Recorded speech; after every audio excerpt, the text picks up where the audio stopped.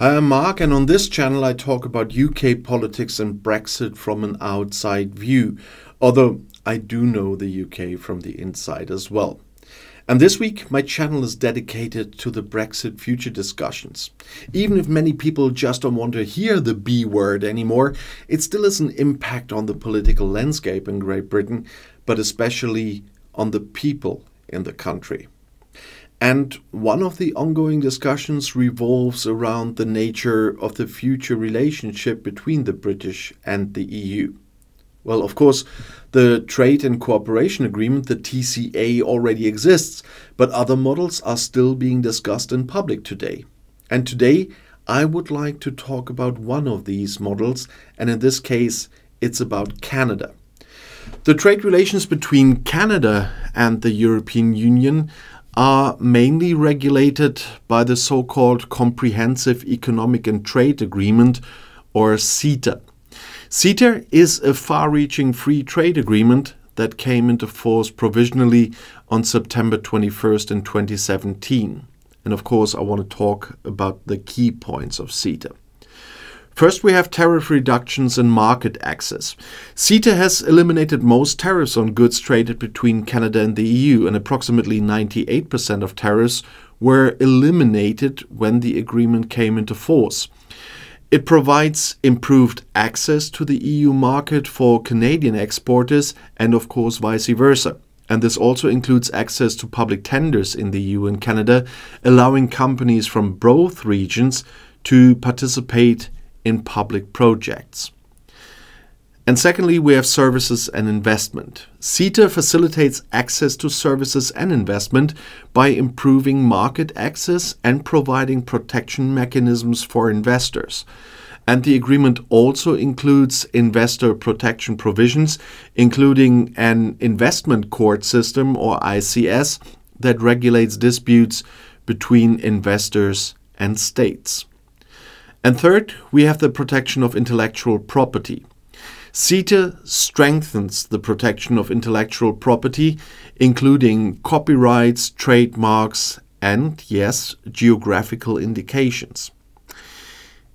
It also helps protect products with those geographical indications, such as you will remember champagne or the Parma ham, or jam, by the way, uh, in the case of marmalade would be. And fourth is food and agricultural products. Certain agricultural products and food are exempt from the tariff reductions and are subject to special quotas. The agreement ensures that sensitive sectors remain protected in both Canada and the EU. And fifth, there's regulatory cooperation. CETA promotes cooperation between EU and Canadian regulators to reduce technical barriers to trade, harmonize standards, and facilitate mutual recognition of certifications and conformity assessments. And sixth, we have the environmental and social standards. The agreement contains commitments to promote high environmental and social standards. Both sides have committed to respecting and further developing these standards in their trade but also in their investment policies. And seventh, we have the provisional application and ratification we need to talk about. While CETA is provisionally in force, some parts of the agreement, in particular the investment protection provisions, still need to be ratified by all EU member states to fully enter into force. But CETA is one of the most comprehensive free trade agreements the EU has ever concluded, and it forms the basis for the trade relationship between Canada and the EU. It offers wide ranging benefits in the form of tariff reductions, improved market access, and investment protection, while promoting high standards in areas such as environmental but also labor protection. And the agreement serves as a model for future trade agreements and it ensures a deeper economic integration between Canada and the EU. And the Canada EU Comprehensive Economic and Trade Agreement brings both advantages and disadvantages for both sides. It's always so. That's what compromises are. But let's first talk about the benefits.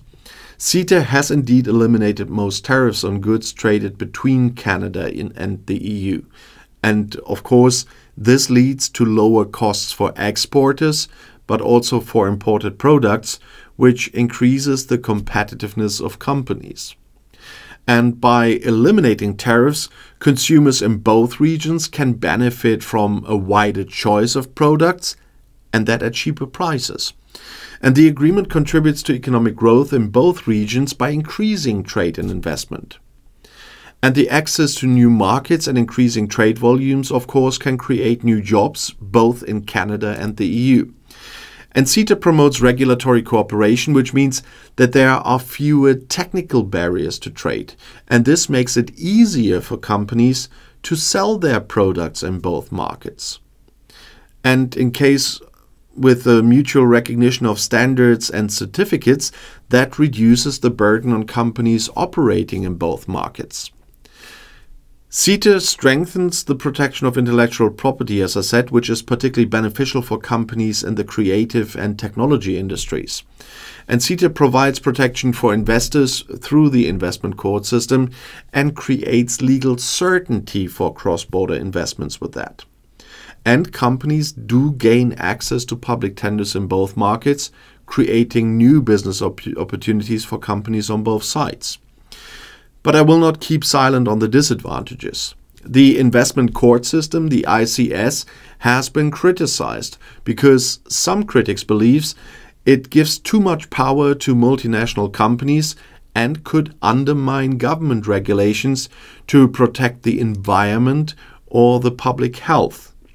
And there is concern that national governments could have less control over their own laws and regulations if they are constrained by investor lawsuits. Large multinational companies are often better placed to take advantage of CETA, while smaller companies could struggle to benefit from the new trade opportunities because they do not have the same resources.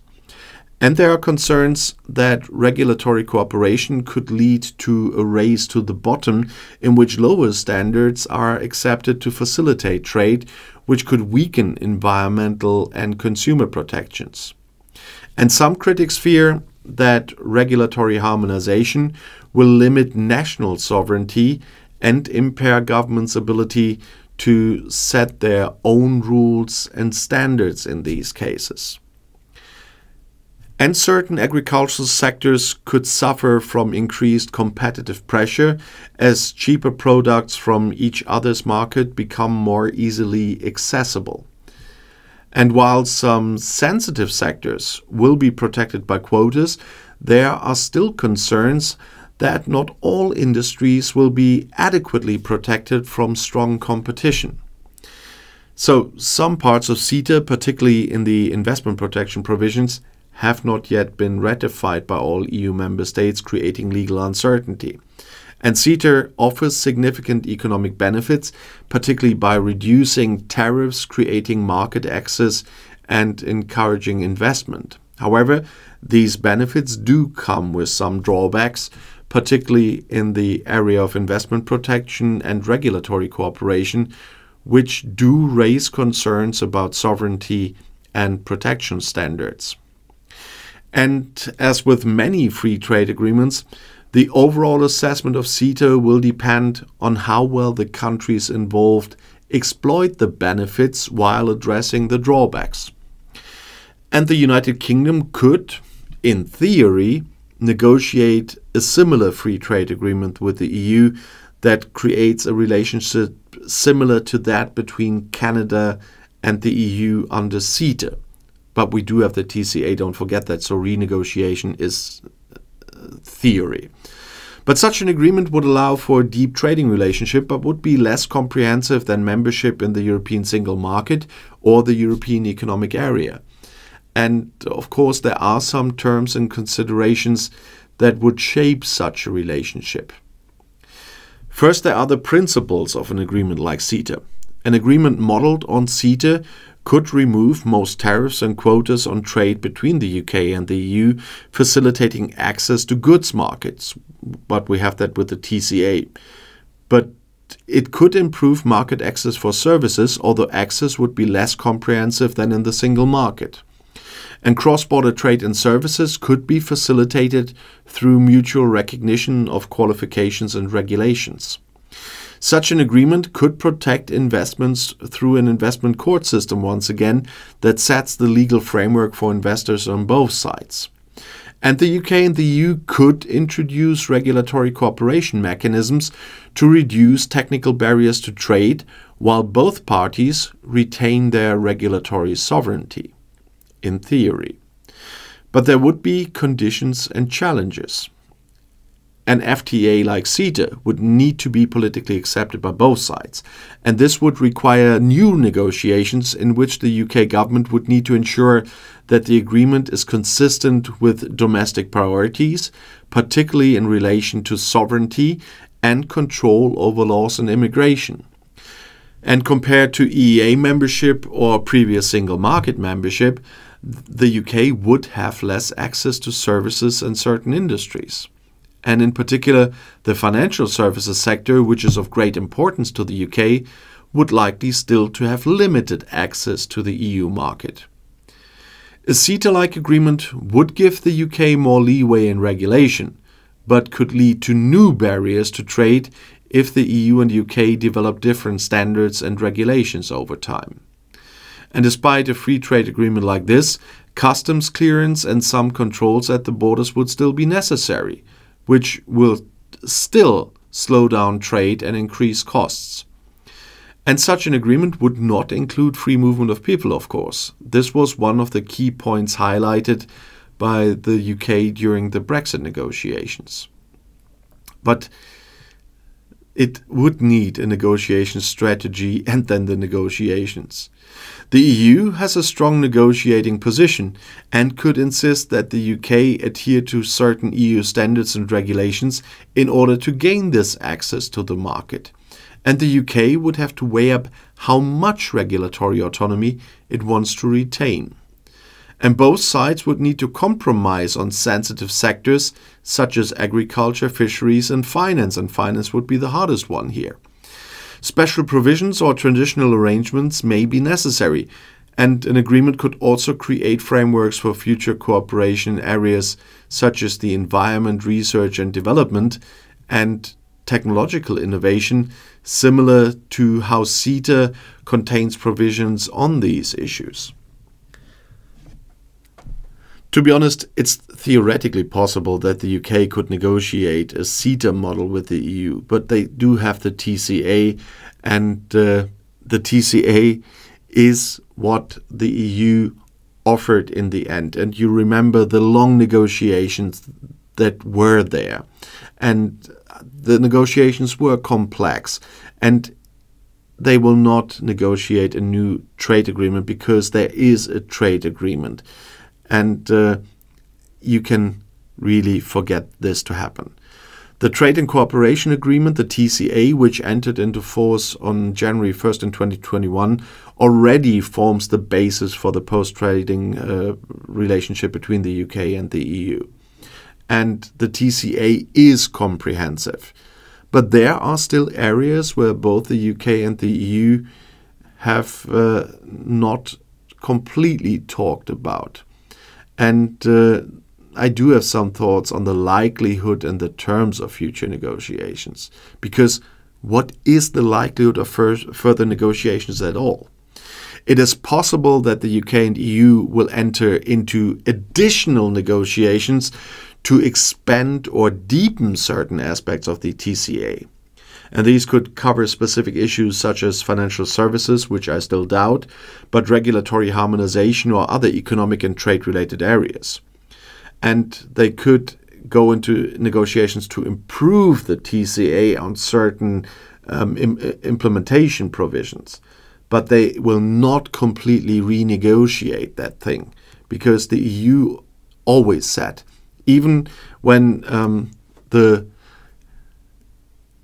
check of the TCA. It's, it's in the near future. But that doesn't mean renegotiating. That just is having a look at how does it work in the implementation And the UK still hasn't implemented a lot of that. We must not forget that one. So there will not be renegotiations on this one.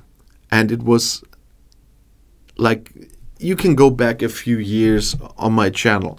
Um, it, it's it's like a bit of, of a time capsule. If we go back a few years on this channel and look at the negotiations between the EU and uh, and the UK, I just say Barnier and Frost, and then Boris Johnson, um, and and all the stunts. There will not be new negotiations because the TCA is there and the UK has to implement the TCA. And the EU, as I said earlier in this video, will keep an eye on things. Where do we need to make small adjustments on the implementation process? Because we have the experience now. After five years, it was agreed that we take a look on, on, on uh, all these small things, but it doesn't mean renegotiating the thing. And the EU will not do that and they will not make such a big compromise or whatever. In the last weeks, I even had talk about still, despite having a new government from a different party after 14 years, the UK still gets warned by the EU that they need to implement the TCA. And we still must not forget there are even transitional periods still running but the possibility for a few specific agreements in certain sectors additional to that for energy, research, environment could be on the agenda, of course. And uh, there's always the talk about the security agreement. Of course, there can be stuff added to the TCA. But while the TCA already regulates the fundamentals of the UK EU trade relationship, there is certainly room for expanding or adapting certain aspects. But the likelihood of such negotiations, they depend on the political and economic interests of both sides, as well as the willingness to make additional compromises and reach new agreements. But as I said, there might be things with the security and everything else, but the core of the TCA will not be touched by the EU.